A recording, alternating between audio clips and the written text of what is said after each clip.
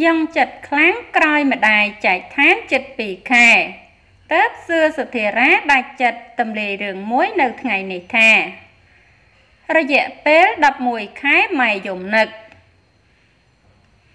ចាស់គេនៅចាំបានថាកាលពីថ្ងៃទី29ខែតុលាឆ្នាំ2022កន្លងទៅនេះ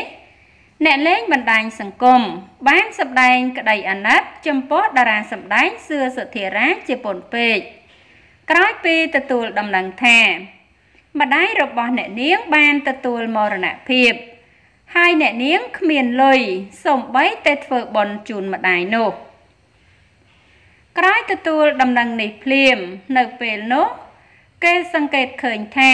មិត្តភ័ក្តិរួមអាជីពនិងសប្បុរសជនជាច្រើន បានជួយជាថវិកាដល់រូបនាងជាបន្តបន្ទាប់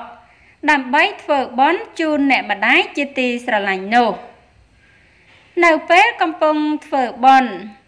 ម្ដាយនៅវត្តនោះសឿសុធារាបានរៀបរាប់ទាំងទឹកភ្នែកថា ម្ដាយខ្លួនឈឺជំងឺទឹកនោមផ្អែម ឡើងជាតិស្ករបេះដូង តាំងពីអាយុ35ឆ្នាំមកម្លេះហើយអ្នកនាងមើលថែម្ដាយរយៈពេល20ឆ្នាំហើយ សឿសធិរាបន្តថា ខ្លួនមើលដោយលុយអត់ឲ្យគាត់ខ្វះខាតអីទាំងអស់ខ្លួនមើលតាំងពីរកលុយបានតិចរហូតរកបានច្រើន ដោយមិនបណ្ដោយម្ដាយទៅតាមយថាកម្មនោះទេអ្នកនាងបន្តថាចុងក្រោយនេះអ្នកនាងអត់មានលុយហើយខ្លួនដឹងការស្លាប់របស់ម្ដាយនេះ គឺគាត់បញ្ចប់ខ្លួនឯង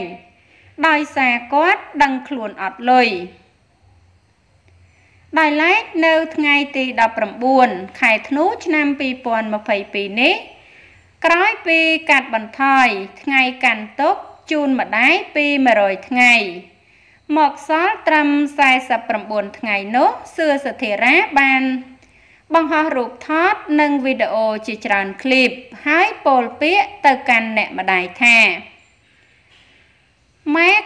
របូតម៉ែពីដៃកូន កូនមិនអាចបំភ្លេចបានទេ រយៈពេល11ខែ ដែលកូនមិនបានជួបមុខម៉ែទុកថា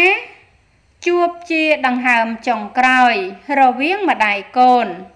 ម៉ែយំនឹកមុខកូនកូនបារម្ភឈឺចាប់នឹកម្ដាយតែចាត់ទុកជាកម្មរបស់យើងម៉ែ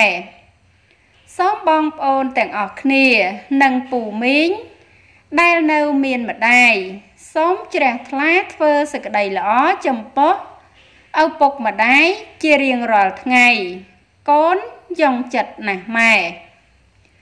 ចាហើយអត្តបទព័រមាន ដែលនាងខ្ញុំជម្រាបជូនខាងលើនេះ ចាគឺមានតែប៉ុណ្ណឹងចាហើយក៏សូមអរគុណដល់ពុកម៉ែបងប្អូន និងប្រិយមិត្តទាំងអស់ចាដែលតែងតែតាមដាន